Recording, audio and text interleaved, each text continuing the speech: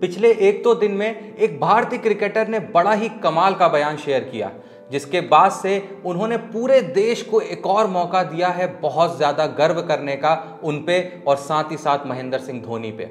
मैं बात कर रहा हूँ मोहम्मद सिराज की। मोहम्मद सिराज की बैक स्टोरी क्या है? ये तो सब जानते हैं। उनका स्ट्रगल क्या रहा है? किस तरीके से वोट के आए हैं? उनके फादर ऑटो चलाते थे। उनकी पूरी जो स्ट्रगल स्टोरी रही है, वो तो लगभग सभी देशवासी जानते होंगे।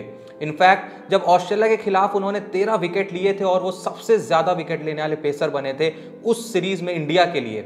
उसके बाद से फिर से उनकी जब स्टोरी कवर हुई थी तो जो गिने चुने लोग जिनको उनकी कहानी नहीं पती थी, उनकी उनकी जो बैक की स्टोरी है, उनकी जो स्ट्रगल स्टोरी है जितने लोग को नहीं पता थी, उनको फिर से पता चल गई थी। बट अभी रिसेंटली जो मोहम्मद सिराज ने बयान शेयर किया, वो फिर से आपको खड़ा कर देगा, आप जहाँ पे भी हैं और आपको सैल्यूट करने पे उनको मजबूर कर देगा।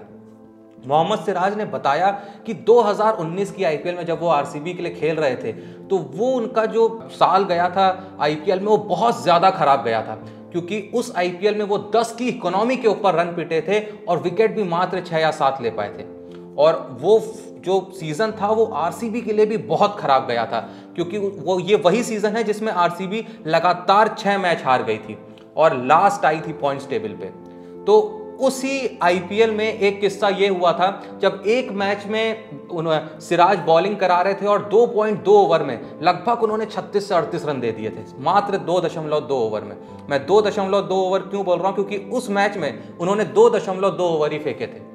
क्योंकि जब वो दो दशमलव दो ओवर फेंक चुके थे तो उन्होंने अपने स्पेल की दूसरी बीमर डाल दी थी, जिसके बाद से विराट कोहली को उनसे बॉल लेनी पड़ी और वो उस मैच में बॉलिंग नहीं कर पाए। वो वैसे ही उस मैच में बहुत ज़्यादा पिट चुके थे बट फ्रस्ट्रेशन में दो बीमर डाल के भी वो और उस स्पेल को ना सुधार पाए, ना विकेट चटका पाए।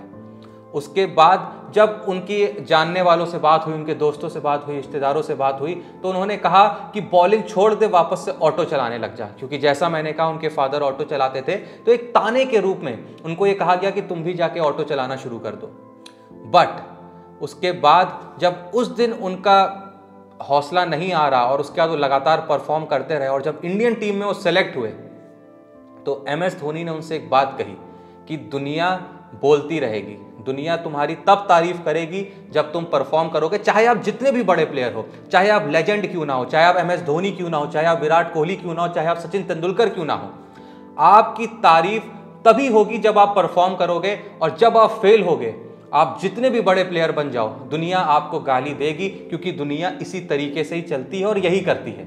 इसके बारे में मेंशन करते हुए खुद ऑलरेडी एम एस धोनी बहुत बार अपने लिए भी कह चुके थे कि आपको लोग तभी सर पे उठाएँगे जब आप वर्क करेंगे, जब आप कुछ अच्छा करेंगे। अगर आप परफॉर्म करेंगे मैच में रन बनाएँगे तो लोग आपको सर पे बैठा लेंगे। आप मैच जिताएँगे तो लोग आपको सर पे बैठा लेंगे। पर अगर आपकी एक गलती से मैच चला गया तो वही जिन्होंने आपको सर पे बैठाया था, वो आपको ज़मीन पे लाके पटक देंगे।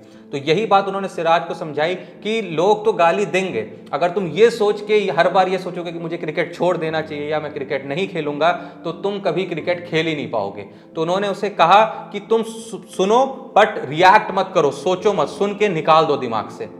क्योंकि हम सब जानते हैं कि किस तरीके से जो एम एस धोनी का कैरियर रहा है जो खुद कैप्टन रहे हैं, कितने अगर वो बहुत सारी अचीवमेंट्स की वजह रहे हैं तो कई बार ऐसा हुआ है जब लोगों को उनसे जो एक्सपेक्टेशन रही होंगी, क्योंकि देखिए लोगों की तो एक्सपेक्टेशन हमेशा पॉजिटिव रहेगी। वो हमेशा चाहेंगे अगर इंडिया 500 मैच खेल रही है, अगर ये कप्तान 500 मैच खेल रहा है या ये प्लेयर 500 मैच में बैटिंग करने उतर रहा है तो हर मैच में सौ मारे, हर मैच को जिताए। ये तो दुनिया की एक्सपेक्टेशन हमेशा रहेगी। बट ये सच है कि हर बार ये एक्सपेक्टेशन फुलफिल नहीं होगी और जिस मैच में फुलफिल नहीं होगी, दुनिया आएगी और आपको गाली देना शुरू कर देगी। और ये चीज़ सबसे ज़्यादा सबसे ज़्यादा एम एस धोनी को खुद फेस करनी पड़ी है।